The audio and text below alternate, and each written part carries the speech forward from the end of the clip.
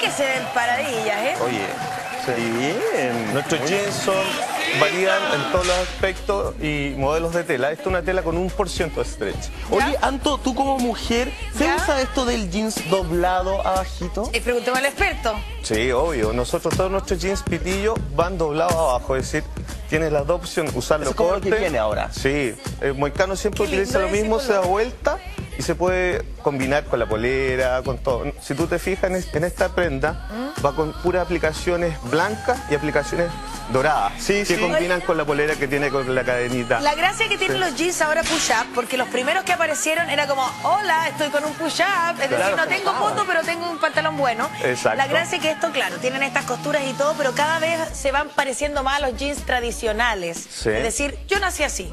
Tengo O sea, eso se como diseño además. Se, se ve muy lindo, es como parte ¿Se del puede jeans. agachar? Se nota que... perfecto, elasticado, cómodo. No. El diseño, aplicaciones, Alto todo al tono.